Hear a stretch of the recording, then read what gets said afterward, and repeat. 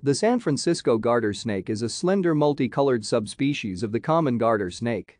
Designated as an endangered subspecies since the year 1967, it is endemic to San Mateo County and the extreme northern part of coastal Santa Cruz County in California. Some researchers estimate that there are only 1,000 to 2,000 adult snakes of the subspecies Ts tetrataenia remaining. However, the full extent of the snake's habitat has not been fully documented, and many snakes may utilize creeks and other waterways that are currently unexplored.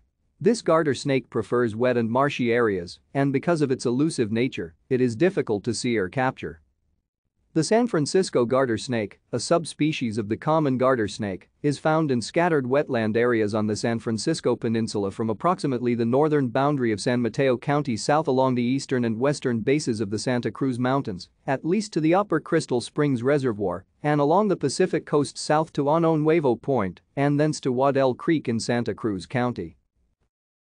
Thank you for watching. Like and subscribe if you would like to view more of our videos. Have a nice day.